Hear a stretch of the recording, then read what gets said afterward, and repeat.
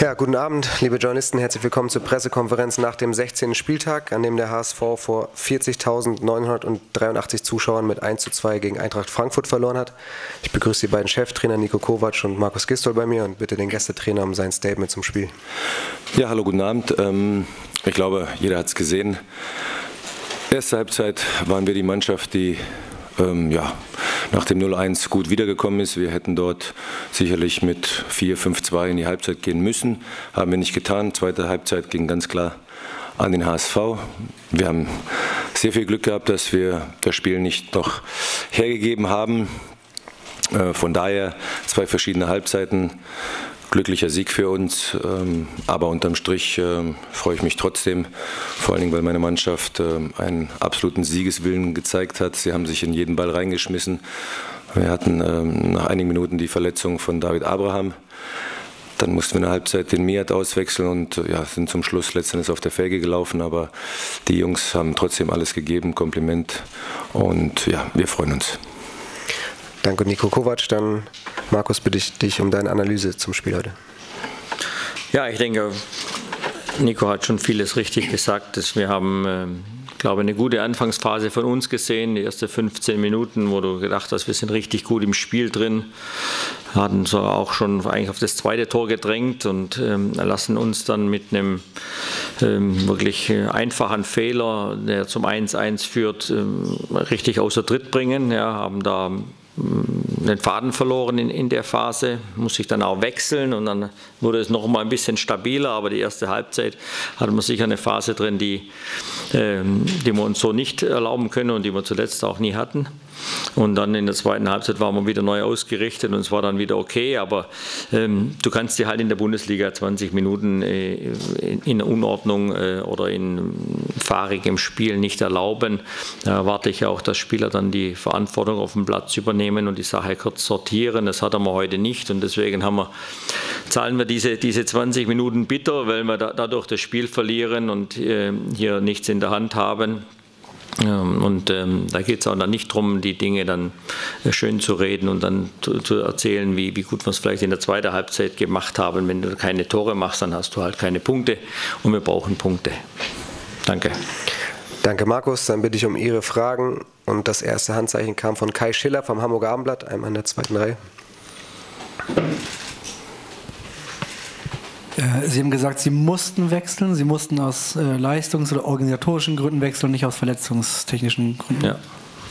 Organisat Organisation auf dem Platz hat mir nicht gefallen. Ich hatte einen Spieler gebraucht, der ein Stück weit die äh, Ordnung übernimmt und das hat Albin dann gut gemacht. Wolfgang Stephan vom Starter Tagblatt. Herr Kovac, war das Ihr Matchplan, dem HSV so viele Spielanteile zu überlassen und dann eiskalt zu kontern? Nein, also das äh, vor allem in der zweiten Halbzeit war nicht beabsichtigt. Ähm, wir wollten schon in der ersten Halbzeit äh, den Gegner gut vorne anlaufen, gerade die beiden Innenverteidiger, was uns äh, zum Teil ganz gut auch gelungen ist im Umschaltspiel. Das war ganz klar. Ich habe mit Luka Jovic bzw. Ante Rebic zwei Spieler gehabt, die immens schnell sind, äh, Marius Wolf ist unter anderem auch einer. Aus dem Pressing, aus dem Gegenpressing äh, wollten wir herauskommen. Das haben wir gerade beim zweiten Tor richtig gut gemacht, wo, wir, wo der Ante den Ball sehr gut sichert, drüber spielt auf Marius. Äh, dann geht es nochmal weiter. Das war unser Matchplan, ist äh, aufgegangen in diesen beiden Situationen, ähm, aber zweite Halbzeit ist eigentlich gar nichts aufgegangen, außer dass die Jungs äh, bis zum Umfallen gekämpft haben. Weitere Fragen? Einmal da oben auf dem Podest.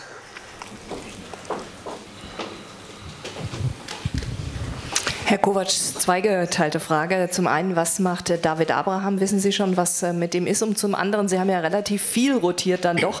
Äh, wir haben dann doch, waren doch etwas überrascht, dass es dann tatsächlich so viele waren.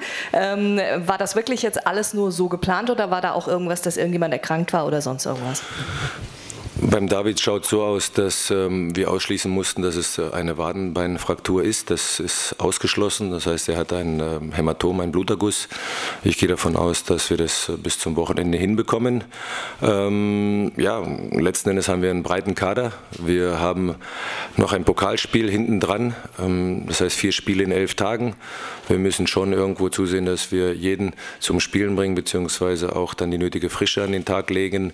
Geplant war eigentlich schon, dass dass äh, Marius Wolf bzw. Ante auch nicht 90 Minuten spielen, aber ja, man plant das eine, aber man kriegt dann immer das andere, sodass wir diejenigen, die dann reingekommen sind, äh, deswegen gebracht haben, weil wir das Vertrauen zu den Jungs haben. Das haben sie heute auch ganz klar bestätigt und äh, von daher, ja, alle kommen zum Spielen, jeder gehört zum Team und das wird auch weiterhin so bleiben.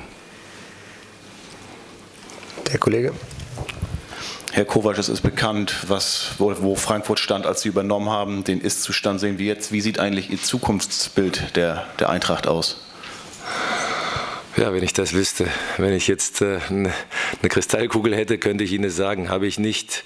Ja, ähm, eins ist klar, Gewissheit hat keiner. Ja, wir leben alle in der Ungewissheit. Keiner weiß, was morgen passiert. Von daher, ich kann es Ihnen nicht sagen. Ich würde mir wünschen, dass es erfolgreich sein wird. Das kann ich Ihnen nur sagen. Kai-Uwe Hesse von der Bildzeitung.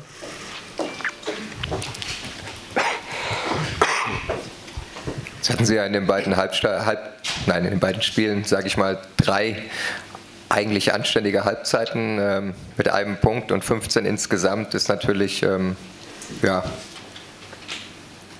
arg bitter. Ne? Das ist richtig, ja. Es ist bitter, weil wir in den beiden Heimspielen jetzt speziell, glaube ich, einfach auch locker hätten vier Punkte machen können, mindestens. Das haben wir nicht gemacht und das mm, tut natürlich jetzt gerade weh, das ist klar. Auf der anderen Seite müssen wir das jetzt auch schnell abschütteln, weil wir am Freitag schon wieder spielen, sind morgen schon wieder die Köpfe klar ziehen und uns auf äh, Gladbach dann vorbereiten und müssen da versuchen, das zurückzuholen, was wir heute haben liegen lassen. Bitte sehr. Herr Kovac, Sie waren ja auch immer mal wieder ein bisschen unzufrieden in der Vergangenheit mit Ante Rebic. Wie hat er das heute gemacht, auch defensiv? Waren Sie heute zufrieden? Und können Sie vielleicht noch mal was zu Timothy Chandler sagen, der ja lange nicht gespielt hat und heute irgendwie ganz gut durchgehalten hat? Oh, da geht jemand auf Entenjagd. Ähm, ähm, ja, Ante Rebic ist äh, natürlich bekannt. Ante hat Fähigkeiten, ähm, die ich immer wieder apostrophiere, gerade nach vorne, seine Schnelligkeit, seine Durchsetzungsvermögen, seine, seine Robustheit. Ähm, nach hinten hin hat er immer wieder mal Aussetzer. Heute fand ich, hat es gut gemacht. Äh, man muss äh, Folgendes wissen, wir haben ja vor kurzem gegen Bayern München gespielt, wo auch ziemlich viel gelaufen ist, äh, vor allen Dingen viel im Sprint. Heute war das ähnlich. Heute muss ich ihm wirklich eine äußerst gute Note ausstellen, ja, was ich auch gerne mache. Ja, nicht nur ihm, sondern allen anderen auch. Und Timmy, ja, nach sieben Wochen ähm, nach einer Meniskusoperation dann so wiederzukommen, das ist gut, er hat das durchgehalten, aber ja, wie Sie schon gesehen haben, meine Mannschaft ist schon körperlich auf einem hohen Niveau. Von daher war das für mich keine Überraschung, dass der Timmy das durchgehalten hat. Gibt es weitere Fragen? Jo, da nochmal. Herr Kovac, Sie sind jetzt ja die stärkste Auswärtsmannschaft der Liga. Haben Sie vielleicht eine Erklärung für diese Diskrepanz? Heimschwäche, Auswärtsstärke? Ja, es ist ja so, dass äh, viele Mannschaften, ich habe es glaube ich auf 80 Prozent äh, betitelt, äh, zu Hause schon Schwierigkeiten haben, das Spiel zu machen. Es gibt nicht viele Mannschaften, die zu Hause das Spiel machen können. So geht es uns auch. Wir fühlen uns sehr viel leichter in der Rolle, wenn wir ähm, gut verteidigen bzw. gut stehen, dementsprechend auch gut umschalten, weil wir eben auch die, das Spielerprofil dann ähm, gerade auch vorne haben.